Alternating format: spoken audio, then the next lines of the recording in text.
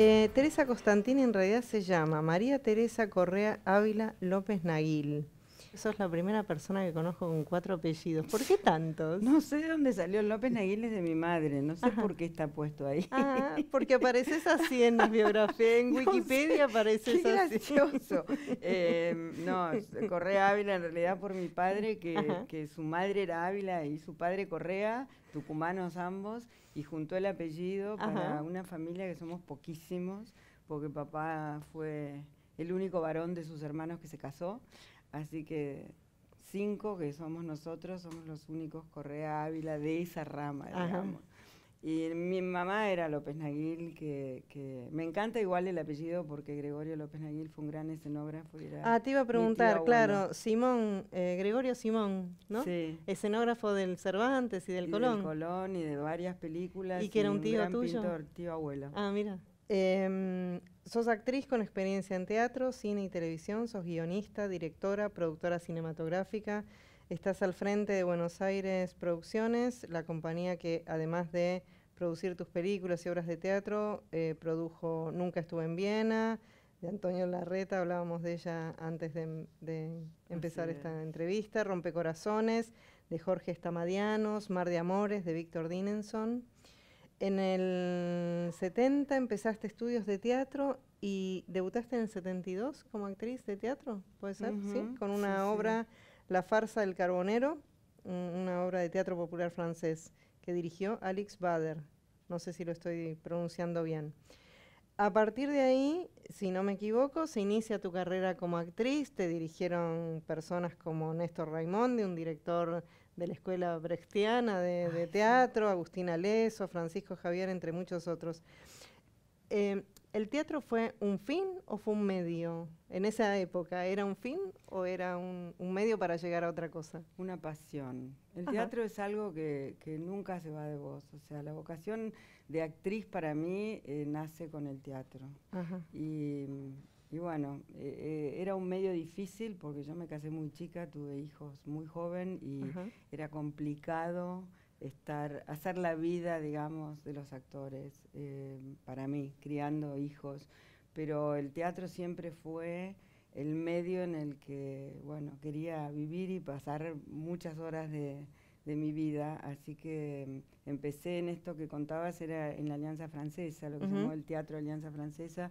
Y, y ahí pude expresar durante mucho tiempo, si bien era en francés, lo que hacíamos, bueno, tuve la oportunidad de transitar mu- muchos autores importantes y sigue siendo una pasión el teatro, sigue siendo una pasión. eh, ahora estoy haciendo una obra de teatro Sí, leído. ya, pero- ya vamos a llegar. pero este pero bueno, no, no, una vez que me atrapó el cine por montones de motivos, eh, el teatro también le, bueno, desapareció la actriz un poco, apareció la directora y entonces.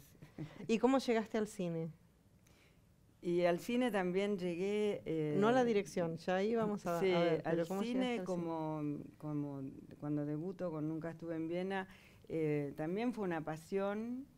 Eh, hace un rato hablábamos de Hernán Abranson, yo había empezado a hacer televisión, llevada por Luis Agustoni, que fue un mentor y un amigo que me, me llevó a la tele, yo tenía muchas ganas de trabajar profesionalmente y, y Hernán era el director de ese programa y yo me di cuenta que me encantaba también eh, esto de las cámaras y, el, y- y el- me agarró como siempre había amado el cine y era una gran espectadora de cine pero bueno sentí que, que tal vez una posibilidad de, de avanzar era producir esta primera película y además actuar porque tenía Claro. ese, ese deseo también de, de actuar Eh, entre eh, Nunca estuve en Viena y, y tu primera película pasaron varios años.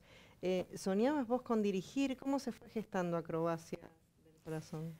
Eh, sí, en realidad soñaba con dirigir y, y dirigí un cortometraje primero. Sí. Quise hacer esa experiencia y cuando lo escribí muy rápidamente, eh, conseguí a los actores que quería, que fueron Virginia Nochenti y el Puma Goiti, y filmé ese corto y dije, me parece que encontré mi camino porque disfruté tanto, tanto, tanto de esa experiencia que a partir de ahí empecé a trabajar para poder dirigir mi primera película.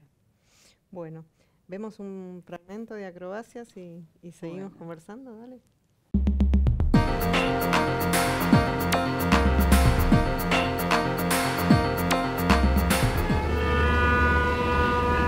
Todavía tengo lo que me escribiste cuando nos despedimos.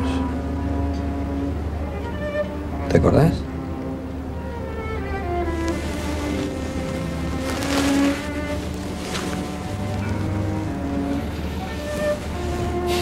Te amé tanto. Llegué a creer que no iba a poder superarlo. Fuiste muy importante para mí. Mi primer gran amor. No me acordaba de. Uno olvida lo que no quiere recordar. Estaba desesperada. Yo también. Muchas veces pensé en llamarte, en buscarte. Mejor que no lo hiciste. Me quedé con Emilio y estuvo bien. ¿Y cuando te separaste hubo alguien? Perdón por querer saber. no, no hubo nadie. Y no me importa que quieras saber. Lola es maravillosa. Pero bueno, la vida tiene sus complicaciones y unas veces no tiene tanta suerte. Date tiempo. Ay, no es divino este lugar.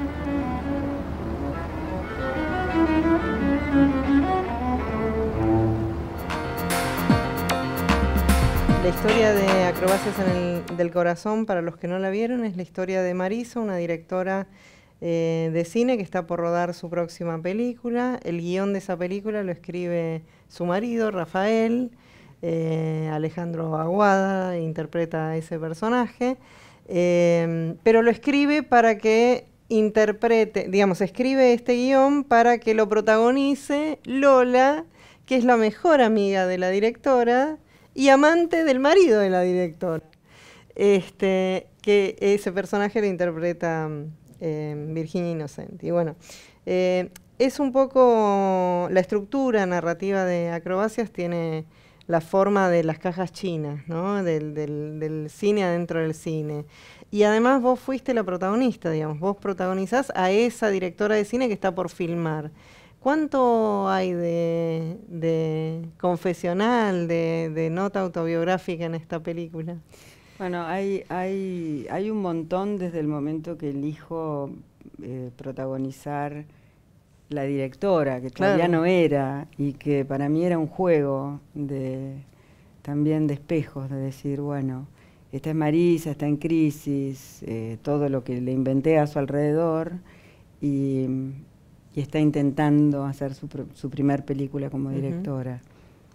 Y también eh, era un momento especial de mi vida porque había perdido a mi mejor amiga y, la escena donde hablo con Lola de la muerte tiene mucho que ver con algo muy personal que fue una especie de catarsis porque eso estaba en el guion, pero bueno, no sabía después si dejarlo o no dejarlo y finalmente eh, atraviesa la historia toda esta, este, esta problemática también existencial de Marisa frente a, esa soledad, ¿no? sea, tiene y no tiene, digamos, de lo biográfico, pero fundamentalmente hace muchísimo que no la veo, pero la sensación es esa, que la directora se estaba como mirando a sí misma a ver si, si eso era posible, y si era un mundo abarcable. Esta escena, bueno, me gustó mucho y mm, eh, me gustó la, idea y, y, esa idea de, los dos personajes sentados frente al río, por supuesto me hizo acordar a Manhattan, este, la película de, Woody Allen. Em, pero además durante la película hay, hay momentos en, los que las parejas, digamos, donde vos utilizás ese recurso tan de Allen que es ponerlos a hablar en cámara como si hubiera un interlocutor que es finalmente el espectador, ¿no? Este, y a contar el conflicto eh, entre ellos. Eh, ¿te, gusta Allen? Mucho, ajá. mucho. ¿Fue, fue como un, director inspirador para vos en este caso? totalmente. muchísimo, gran inspirador. Y para mí ese hablar a cámara tiene también mucho que ver con el teatro. ¿no? En el teatro eh, me, me, gustan muchísimo las obras donde hay un narrador, eh, como en algunas de Miller. es, es un, un, recurso que, que, conecta desde un lugar, eh, puede estar hablando de su pensamiento, como puede estar expresando lo que siente solo para, para él, pero nosotros lo recibimos. Y a mí me, me atrae mucho como recurso. Y, bueno, eh, sí, con Woody Allen tengo así como una gran empatía. ¿Y qué otros directores te, te, gustan? Hay muchísimos, pero bueno. pero si tuvieras que armar así la colección, ¿no? la, la, biblioteca personal, la biblioteca personal. Porque tengo, sí, qué, qué pregunta es esa. Tengo tantos, por ejemplo, Clint Eastwood es un director que me apasiona como director. No me pierdo una de sus películas. y, y Almodóvar me encanta, eh, muchísimo de lo de Scorsese, El Padrino de Coppola, no sé, este... Películas de acción. Me gustan las películas de acción. Mira. me gustan. Bueno, debutaste como directora, eh, te pusiste como protagonista. ¿No era más fácil elegir otra actriz y alivianar por lo menos esa tarea? Porque debe ser eh, una exigencia. Eh, decidir un encuadre, decidir un plano y además estar del otro lado eh, protagonizando. Sí, bueno, hubo algo que a veces, eh, que al nombrar a Woody Allen por ahí tiene que ver. Era un grupo de amigos los que estaban conmigo. Primero tuve el apoyo absoluto de los actores, que me ayudaron muchísimo. Eso fue muy importante. O sea, era un equipo de gente que yo conocía, Cecilio Paso, Ale Aguada, Ernesto Claudio, Virginia Inocente el Puma Goiti, había algo ahí, habíamos trabajado juntos, nos conocíamos, una cosa de, apoyar y decir, ok, vamos para adelante y la vamos a hacer. Era un riesgo enorme, yo soy kamikaze total, eh, por lo tanto lo corrí, igual que con Nunca estuve en Viena, película de época, primera, producción, digamos. Em, pero al mismo tiempo si bien lo sabía, porque tenía conciencia que era un riesgo, me costaba muchísimo soltar a la actriz. Hablando de experimentación y de, fundir lenguajes, tu segunda película, eh, Sin Intervalo, es una película eh, efectivamente experimental eh, que la realizaste a partir de ejercicios de, de, improvisación con actores. Si te parece bien, vemos un pedacito y nos contás cómo surgió ese proyecto y cómo lo trabajaste. ¿sí? Dale.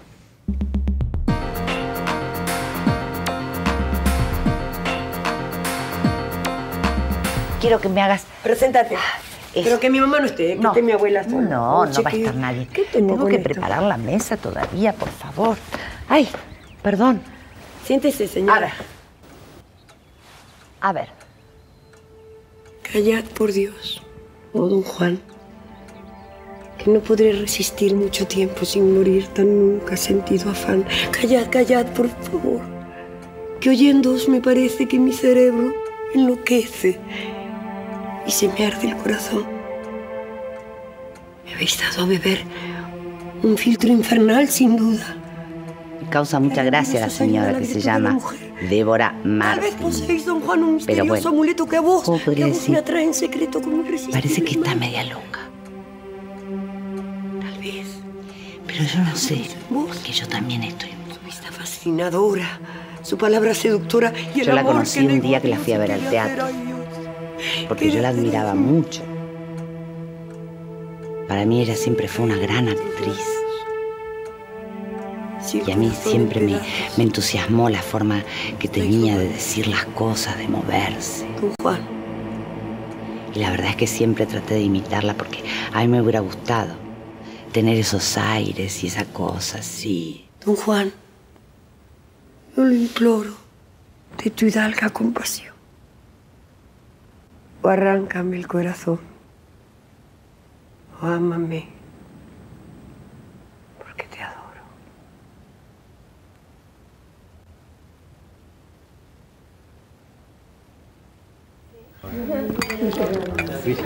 ¿Cómo estás? Ahí está cómoda, Carmen. Sí, está de campamento ahora, con el colegio. Sí, nueve. Sí, Qué grande. Todos los chicos están ya grandes. Yo te saludé. ¿Cómo te va? Bien, muy bien. Roberto. Sí. Pero dice que le gustaría muchísimo volver a su casa a jugar con los cubos que le dio la otra vez. ¿No llevas o la mandás a los días? No, perfecto. Ay, la campesina. Ahora es terrible.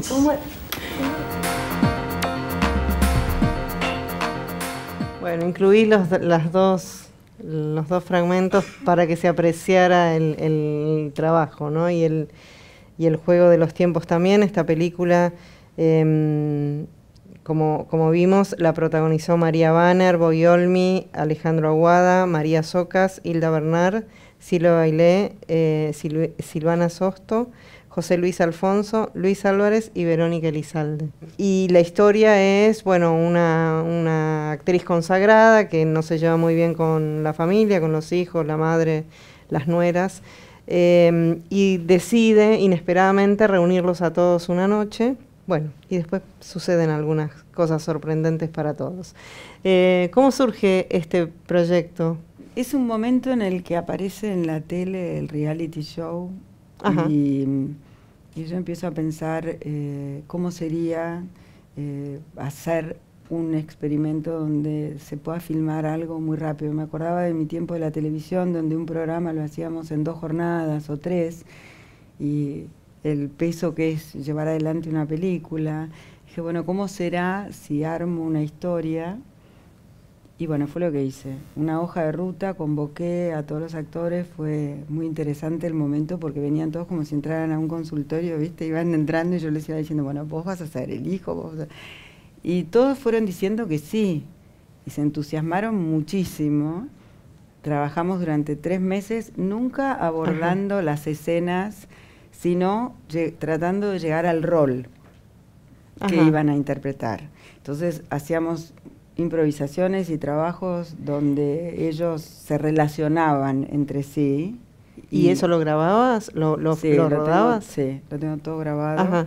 Y después de eso fuimos a- al set y, y ese día recién recibían las escenas con las consignas. Y yo les preparaba sorpresas. Hay muchas de las cosas que...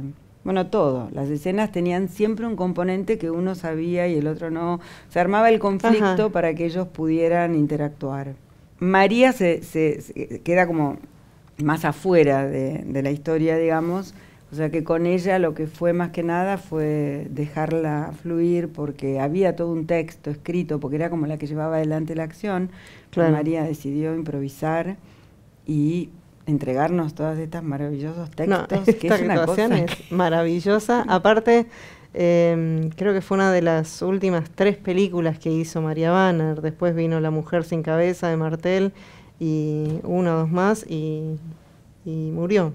Sí. Este, la película, creo yo, tiene varios, varios puntos de interés, ¿no? Por un lado eso, poder este, como espiar eh, un detrás de escena que el espectador eh, de cine, eh, no, al que no, ese espectador no tiene acceso, digamos, nunca, ¿no? Cómo, cómo se van armando esos encuentros y desencuentros entre personajes. Y después, em, puntualmente las historias en sí, porque son varios hermanos, uno que vive lejos en Bariloche y tiene toda una onda así, New Age y qué sé yo, el otro que es empresario y entonces ya está en otro discurso, con otra, en otro universo, la que es actriz, otro universo más, entonces hay ahí como asperezas, roces entre ellos, ¿no? Este, cierta cosa de recelo entre, entre hermanos que no se llevan para nada bien o que no tienen un vínculo, digamos, ¿no? Sí. Entonces eso también es interesante porque al mismo tiempo todos respondieron al llamado de la madre, este, y la madre que no aparece y no aparece y tarda en aparecer, este, entonces bueno, tienen que eh, necesariamente interactuar. Así es. Sí. Entonces eso también es bien interesante. Sí, además, el, el- por momentos, eh, yo les había, le había tirado una historia a Hilda, por ejemplo, me estoy acordando ahora, y, y, Ale, se enojó en serio, o sea, Aguada tomó su rol, ¿viste? Y se enojó y dijo, pero ¿cómo? No? Y, y, nosotros seguíamos filmando, ¿viste? O sea, por eso te digo, tenía toda una cosa de estar en el momento, de, de que lo que pasaba, pasaba ahí y no se iba a repetir porque después repetir no, no, no tenía que ver con lo que estábamos buscando. Y bueno, con la cantidad de material que hubo, que eran como 20 horas, yo se lo di todo a mi editora, que no sabía nada de nada, y le dije, fíjate si acá hay una historia. Y armó algo. Y bueno, después estuve un año editando para, para conseguir este, darle un sentido, pero ella me armó algo, o sea que algo descubrió, digamos, detrás de sin tener ningún guion, ninguna hoja de ruta, ni nada. ¿no? Hubo una tercera película, El amor es tu tema, Constantini, eh, que se llamó El, amor y la no, ciudad. María. Pero yo soy la que pregunto. se llamó El amor y, la ciudad, se filmó en Buenos Aires y en París. Em, es, eh, fue una historia de, amor desconcertado también. Vemos un fragmento y, y hablamos de esta.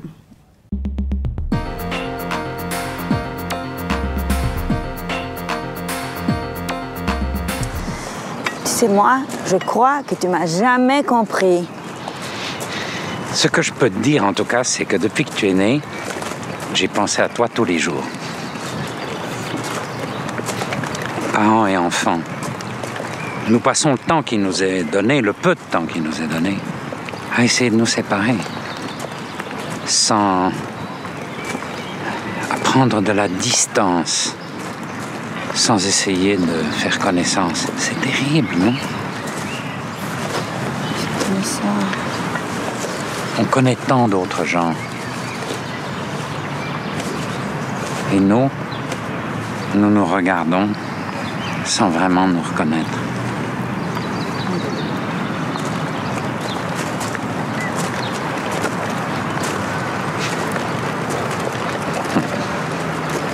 Survient la mort, implacable. Et qui dit que nous nous reverrons? Mais tu dois pas mourir encore, hein? On dit c'était au cours. tu as tellement de choses à faire. Toutes les interviews, et puis euh, ben, arriver à la cérémonie et, avec un grand discours. Hmm. Ah ouais. Combien de temps reste-t-il? Ah ça, je ne sais pas, papa.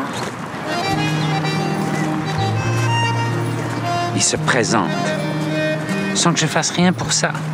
Il se révèle.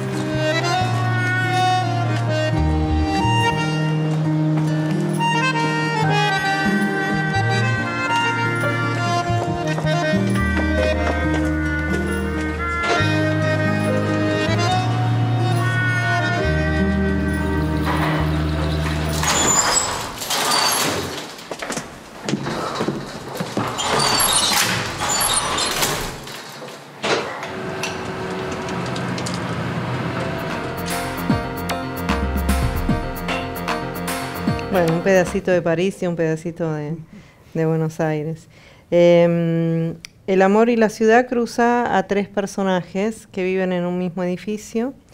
Em, una decoradora un poco misteriosa que un día desaparece de Buenos Aires, se va, sin dejar rastros prácticamente. Su amante, un hombre más joven que tiene un dudoso oficio de vendedor de libros antiguos. Eh, y una muchacha extraviada que es eh, ilustradora y está sin trabajo, digamos. Ellos se, conocen, se juntan en un bar que hay en la cuadra. Los protagonistas, bueno, fueron Teresa Costantini, Adrián Navarro, Jean-Pierre Noé, Vera Carnevale, Jean-Pierre eh, Reguerraz, eh, José Palomino Cortés y Patrick Boyot, que es el actor belga que vimos acá con, con Teresa. Em, bueno, un actor que fue, em, se graduó en lenguas modernas, fue asistente de Eric Romer, diseñador de muebles, es un personaje eh, este actor. Lo vimos aquí en Argentina en La Secretaria, en La Habitación del Pánico, en las cinco obstrucciones de Lars von Trier, en la serie 24, en la serie Alias, en Carnival, en fin, en, en, en muchas en muchas eh, obras audiovisuales. Em, ¿Por qué elegiste un actor francés para, esta historia? Em, Eh, perdón, un actor belga, eh, no francés, pero en, bueno. en verdad tuvo que ver con, con esta búsqueda. Había, tenía actores acá, que yo pensaba, el padre es, es argentino en realidad, pero mm, alguien me lo sugirió a Patrick y estábamos intentando una coproducción con Ajá. Francia para conseguir estar en, en el tiempo que quería filmar en París y lo conocí. Esas cosas que suceden, que no, no son casualidades, pero él vino a Mar del Plata, Ajá, justo. Venía claro. de jurado al festival. Y, y ahí nos encontramos y yo le di el guion y a él le encantó y bueno, y todo se cerró como muy favorablemente. Era, era un lujo tenerlo. Y de verdad que fue una experiencia súper importante para mí desde, desde la actuación y desde la dirección. Contanos. Em, con Patrick, em, lo más importante era que yo me sentía tan como que por favor vení sentate conmigo y decidamos si te parece que la escena queda, si la querés hacer de vuelta, Ajá. porque sentía un respeto enorme por él. Pero fue una persona muy fácil para trabajar, alguien con total predisponibilidad, le gustó muchísimo el papel. Su padre, escritor, gran escritor, él con una situación de hija lejanísima, con problemas, se copó con la historia, realmente se, se entusiasmó con la historia y la quiso transitar. Así que no fue más que, fue, fue una filmación llena de alegría, de verdad. Cuando se estrenó El amor y la ciudad, Adolfo Martínez escribió en La Nación em, lo siguiente. La desolación, la angustia, la soledad y la necesidad de recomponer la existencia fueron casi siempre los elementos con los que trabajó la directora Teresa Constantini en su filmografía, eh, iniciada en 1999 con Acrobacias del Corazón. Él leía eh, sobre todo estas notas, ¿no? la desolación, la angustia y la soledad. Em, ¿Estás de acuerdo con esa impresión? ¿Es, eh, ¿Tus películas narran eso? En, eh, sí, eh, estoy de acuerdo con la definición, sobre todo respecto, bueno, sí, porque en acrobacias también Marisa padece esa desolación, em, también la tiene el personaje de María Banner en Sin Intervalo y, y varios de los personajes de, de Sin Intervalo. Y en el caso del amor y la ciudad está como puesto más evidente, digamos, porque quería contar la historia de, de- de sol- quería hablar de la soledad, de la soledad que empecé a sentir, empezaba a, a abarcar esta ciudad de Buenos Aires, ese aislamiento en el que empezábamos a, a estar. Eh, y a su vez también hablar de, como siempre eh, me interesan los vínculos, qué pasaba con la distancia entre un padre y, un- y una hija. Ujú. Un padre famosísimo, digamos, importante, un gran escritor que algunos me dijeron, pero ¿cómo? Ah, eh, pero qué, qué lejos ponés, es un premio Nobel. Pero yo había conocido a Saramago no hacía mucho y había establecido un vínculo con él y no me parecía tan lejano un, premio Nobel eh, de literatura. Y ahora vengo de filmar un documental con un premio Nobel de literatura que es John Coetzee, o Coetzee, como, se, como le dicen acá, pero es Coetzee. Y sentí que había habido una premonición en eso, porque nunca me imaginé que iba a terminar haciendo un documental con un y pasando días en el sur de Francia nada menos con, con John y, viviendo la sencillez y la simpleza eh, de, de ser un escritor eh, totalmente austero y, y- y que se ganó el premio Nobel de Literatura, porque escribe como los dioses. ¿no? Tu cuarta película de ficción fue Felicitas, estrenada en 2009. Eh, esta vez compartiste el trabajo de guion con Sabrina Fargi, que ya era directora de cine y de televisión, con Graciela Maglie, una guionista experimentadísima, autora y guionista, y con Félix Cuadros. ¿Por qué en este caso armaste un equipo de guionistas? Mi primera necesidad era que el guion lo escriba otro. Ajá. Yo quería estar del otro lado de, de Felicitas y poder mirarla eh, con la libertad que te da que alguien venga, te traiga el material y vos puedas ser implacable. Que con uno mismo Ajá. a veces uno cree que lo es y después también se equivoca porque pierde la, perspectiva. claro. ¿no? Ya El amor y la ciudad había sido una, una experiencia en conjunto con, eh, había escrito, pero Sí. con, ay Dios, con, mm, se me fue el nombre. Walter Jacob. Con Walter Jacob, actor y autor y demás, que fue una experiencia divina. Tuvimos un año escribiendo, fue un- una locura, pero eh, cada uno ten- traía como 100 hojas cada vez, no sé, un- un- una cosa increíble.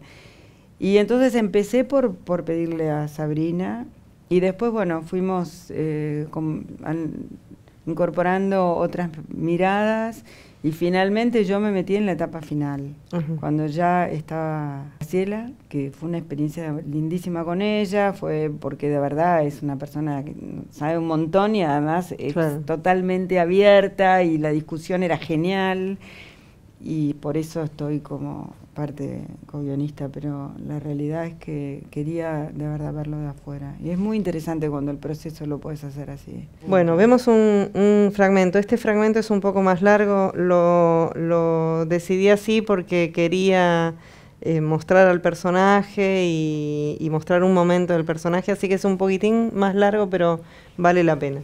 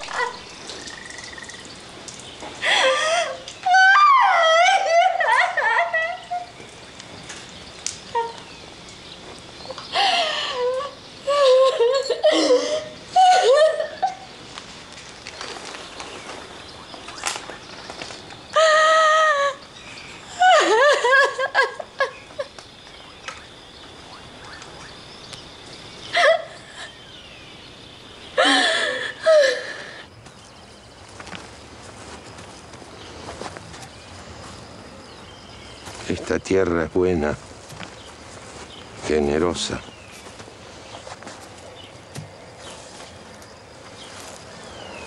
Me estoy muriendo. Es la tristeza. Un viejo triste dura poco. No me dejes sola. Por favor. Me siento muy débil. Usted es la mujer de mi vida, Felicitas. Mi amor es inmenso.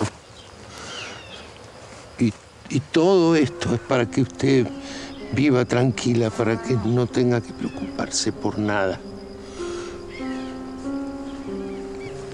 Todo está a su nombre. Usted es mi única heredera, Felicitas. En la vida ocurren cosas que a uno lo hacen ser como es. Una cosa quiero decirle. Yo conocí la felicidad gracias a usted, Felicitas. Al menos esto lo sé. Si puede, no lo olvide.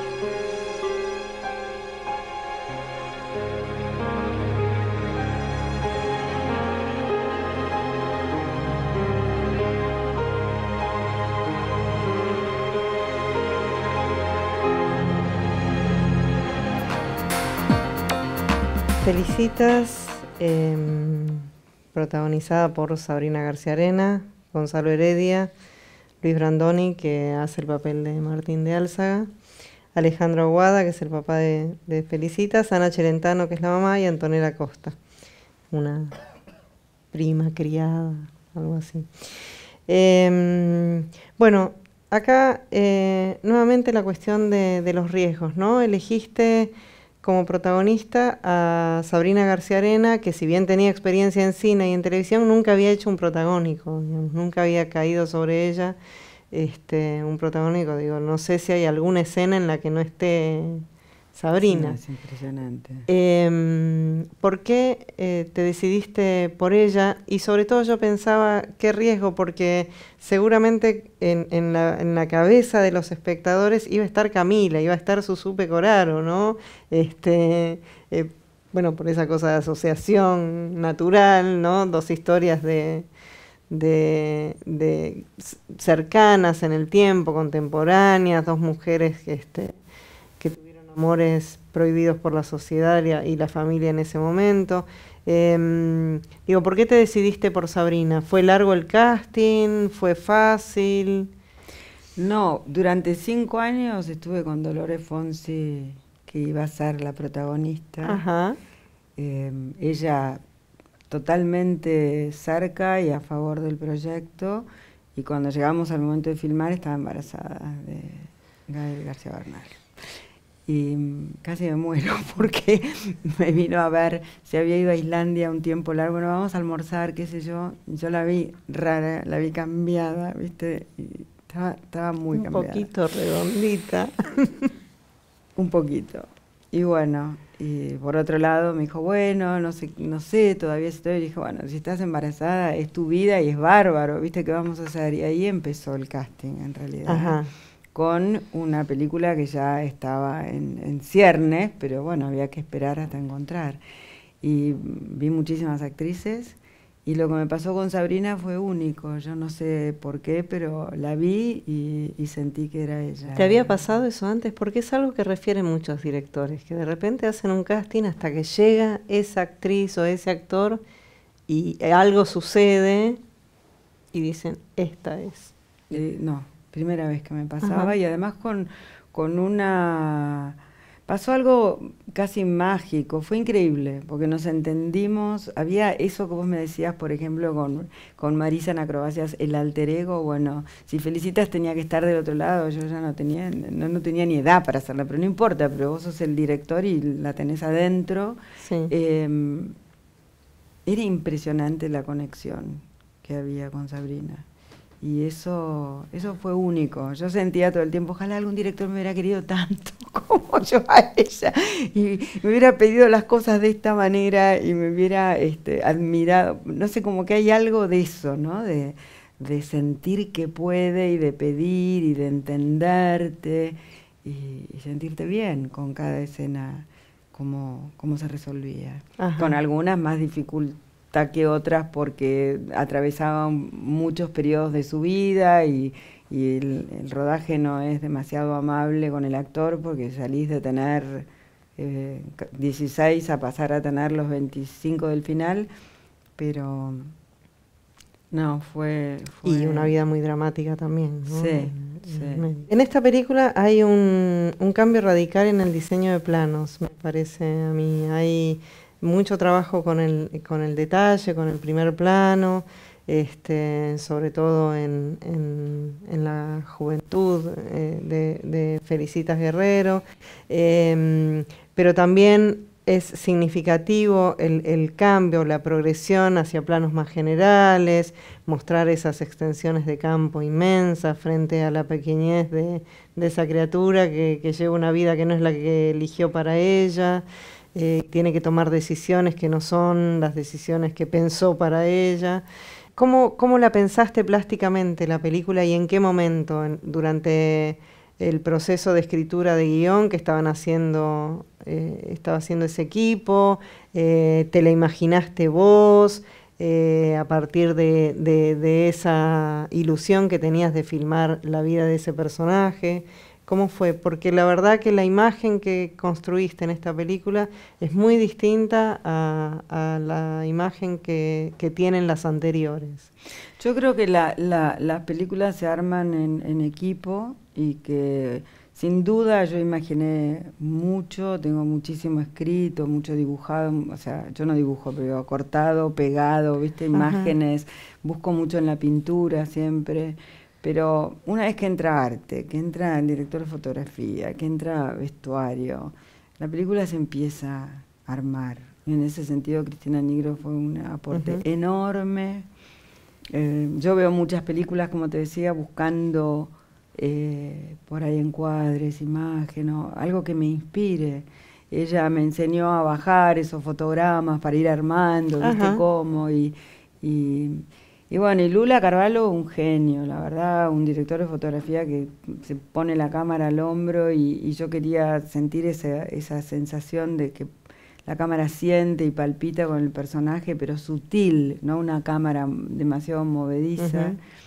Y nos entendimos sin habernos conocido. Ese también fue un aporte de Eduardo, mi hijo, porque él me lo sugirió. En realidad llamamos al padre, el padre no podía, que es un genio. Y me dijo, pero mira que Lula, porque había hecho Tropa de Elite, que fue una producción de Eduardo. Ajá. Y, mm, Ah, claro, para... y yo decía, pero después de Tropa de Elite, Meireles, claro, de, de tropa, de Tropa de Elite eh, a esto, era como, eh, pero bueno, la verdad que fue una, una fue muy buena idea y, y fue muy fácil llevarme bien con él y entenderme en lo que estábamos buscando y creo que sin duda la foto, la manera de, de la fotografía, los colores, bueno, cómo se fue armando, sumado a, las, a los escenarios ¿no? que se consiguieron, porque eh, ese, ese campo nuestro que, qué sé yo, había que encontrar también esas casas, Las esos estancias. lugares. ¿Qué estancias son? ¿Son en la, provincia de Buenos Aires? Sí, la de, la de la casa de Guerrero es en Magdalena y la casa de, de Álzaga, donde sucede gran parte de la historia, es en Monte. Y es de los hijos de María Luisa Bamber. filmar un, un drama histórico con lo que supone la reconstrucción de época en los mobiliarios, en la indumentaria, eh, no solo es más costoso, sino que debe llevar más tiempo, porque además uno tiene que conseguir los ruidos que sonaban en esa época y demás. Em, ¿Cómo fue todo este proceso de producción? Decías que duró cinco años. En esos cinco años también estuviste pensando la ropa, este, bueno, buscando las, las casas. ¿Cómo fue? Eh, no, en realidad sí, duró siete años eh, desde que Mm. empezó a escribir eh, Sabri. Y mm, en un momento dado sí hicimos una gran investigación, eh, se armó una búsqueda de casas y todo, y del arte que podía tener la película, o sea, se hizo una, como una inversión en ese momento de preproducción. Ujú. Después hubo que parar toda la película, pero eso ponerle que fue dos años antes. Eh, de eso quedó un montón de material, de, de imágenes y, y de búsquedas de casas. Después no fue esa la casa, porque llegamos a una casa que había sido lo de Álzaga, la Ah, postrera. Eh, conocí a, a su nueva dueña, nos, nos llevó a Chascomús, pero después la casa no sirvió para a los efectos del rodaje, digamos. Y en verdad después, cuando ya todo empezó a, a andar, en- fueron seis meses de muchísimo trabajo de preproducción. En estas cuatro películas este, que hiciste hasta ahora, sin duda, eh, ya a esta altura, eh, el gran tema es el amor, ¿no? Hablas de, de amor entre hombres y mujeres de distintas edades, de la misma edad, entre, entre padres e hijos, el amor de amantes, el amor matrimonial. Siempre hay como alguna dificultad, algún destiempo en eso. ¿Qué historia de amor te quedó en el tintero? Mm. Historias de amor siempre van a quedar, porque si no, no voy a, no voy a volver a filmar. Tengo que seguir filmando. Eh, bueno, en 2012 rodaste el documental que mencioné hace un rato, Are We Walking Up on Time? no sé si lo pronuncio bien, eh, eh, sería algo así como estamos a tiempo, ¿no? Eh, un encargo de la Embajada Británica en Buenos Aires. ¿De qué se trató eso? Es, fue un, un, un encargo que surgió de, del Green Film Fest, viste, que se armó acá, y la Embajada Británica quería una pieza donde se relatara los primeros Juegos Olímpicos verdes, para ah, mostrar dentro del festival.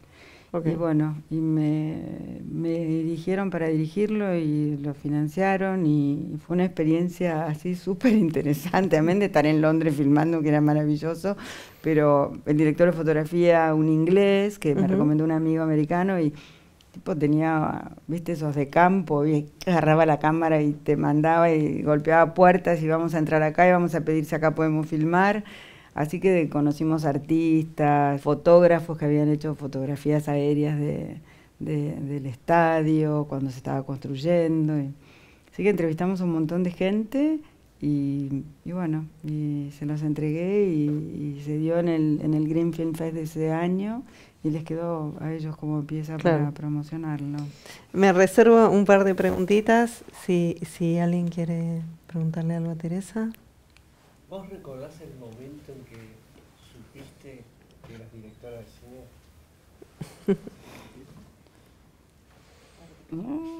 ¿Qué? Hay algunos que sí, otros que no. No sé. Yo... ¿O fue un proceso gradual? Fue un, fue un proceso gradual, pero si lo puedo poner en algún lado es cuando, cuando dirigí ese cortometraje, Los Dueños de los Ratones, que no sé si sentí que era directora de cine, pero sentí que eso era lo que quería hacer. Sí, sentí que eso era, que, que, había encontrado el camino. Hmm. Con, los, zapatos correspondientes. Así es, sí. Y aunque nos da muchísimo trabajo esta profesión o nos, demora a veces la posibilidad de volver a filmar, siempre quiero filmar. o sea que me doy cuenta que ahí es donde yo me, siento bien. Yo voy a hacerte la, última pregunta entonces. Em, si estuviéramos frente a un auditorio de extranjeros, por ejemplo, toda esta gente son extranjeros, no te conocen, no saben quién sos, este, a, grosso modo han advertido que eres directora de teatro, actriz, em, pero quisieran saber algo de, eh, no de lo que dice Wikipedia, no de lo que dice la página de tu productora, de tu fundación, sino ¿quién es Teresa Constantín? Todas las mañanas medito y me esa pregunta, ¿quién soy? Porque viste que es una de las preguntas que tenés que hacer si me pedís que defina. Pero esa respuesta te la das a vos. esa Esa me la guardo. Claro. No, seguro. Eh, todavía no sé si bajo la.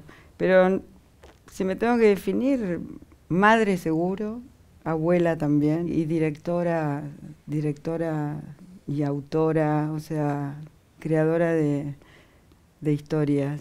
Lo que más me gusta es contar historias. ¿Eso es el cine? ¿Contar historias? El cine es contar historias para mí, sí. Hasta en el documental estoy empezando a darme cuenta que es contar una historia. Es un género nuevo que estoy abordando con,